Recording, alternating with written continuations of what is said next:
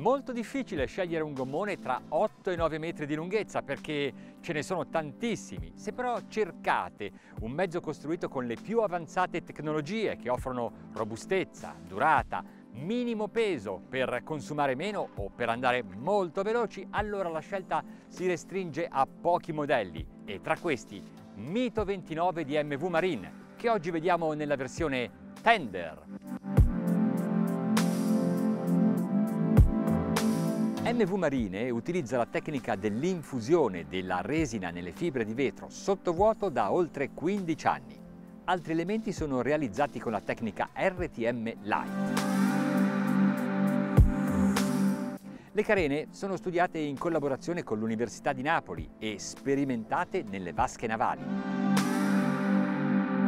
Fatte queste importanti premesse, possiamo passare a ciò che spesso interessa di più, anche se vale di meno, l'estetica.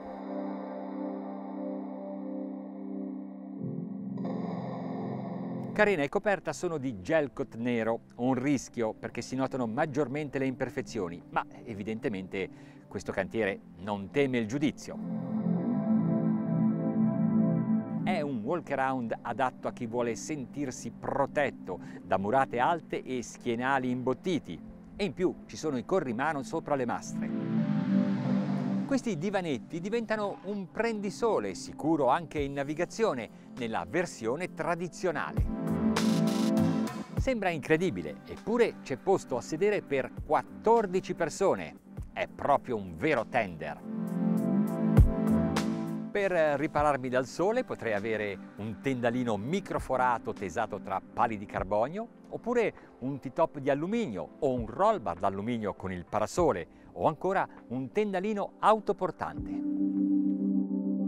Sotto coperta c'è il bagno con lavandino stampato e tanti specchi dietro ai quali si nascondono gli impianti. Ha un capiente serbatoio per l'acqua 130 litri. L'area più versatile è il pozzetto con tre divani, il tavolo e la possibilità di trasformarla in un grande prendisole. Un'altra versione prevede lo schienale di poppa abbattibile sulla plancia bagno. Ovviamente in questo caso il palo per lo sci nautico diventa sfilabile.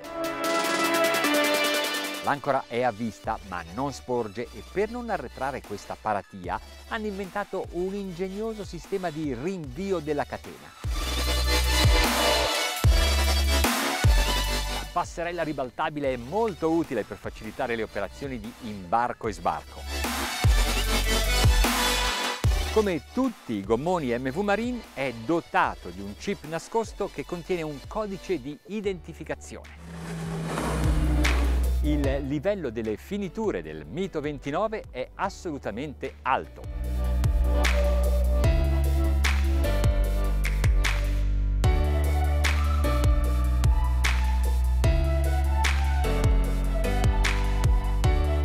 È la costiera amalfitana che fa da scenario alla prova del Mito 29T con due fuoribordo Mercury da 250 cavalli, montati parecchio in alto per essere ancora più sportivi.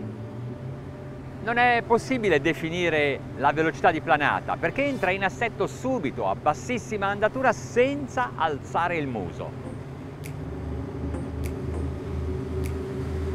Oltre a essere costruito per infusione di resina vinilestre, viene utilizzata anche la tecnica del sandwich, cioè con un'anima tra due laminazioni di vetro resina.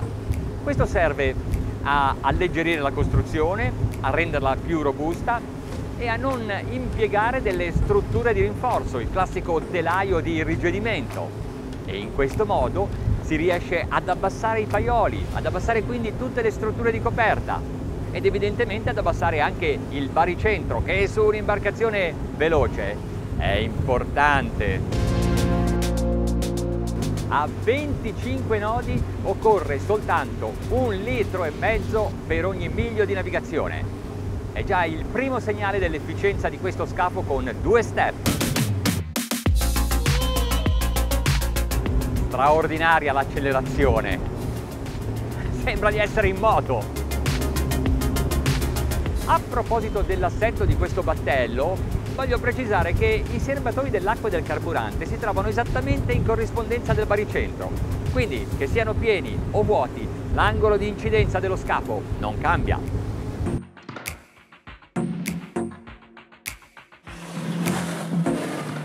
A 35 nodi ci avviciniamo ai 2 litri per miglio. Andiamo un po' di più. Questo scafo ha delle caratteristiche che piacciono a un pilota di motonautica. Una ruota di prua allungata, dolce, che ti fa sentire a tuo agio anche sulle onde. Tre pattini per ciascun piano di carena, ma non troppo aggressivi, non troppo pronunciati, che rendono più morbido l'impatto con l'acqua. Le carene a step solitamente hanno il difetto di avere un comportamento un po' bizzoso in virata. Qui non avverto nessuna fastidiosa reazione.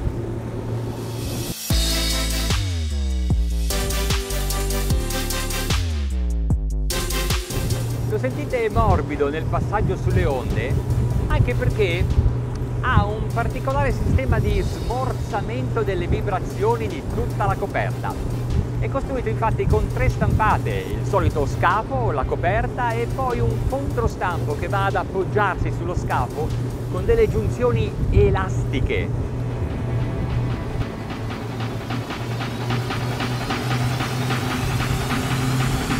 Sì, vabbè, tante chiacchiere, ma adesso è il momento della prova più importante. Giù la manetta! Dobbiamo verificare non soltanto la massima velocità che riusciamo a raggiungere con questo equipaggiamento, ma anche se il gommone è in grado di tenerla. 56 nodi è una prestazione eccellente per un'imbarcazione di questo tipo, di questo dislocamento, di questa lunghezza e con questi motori. Bravi! Molto!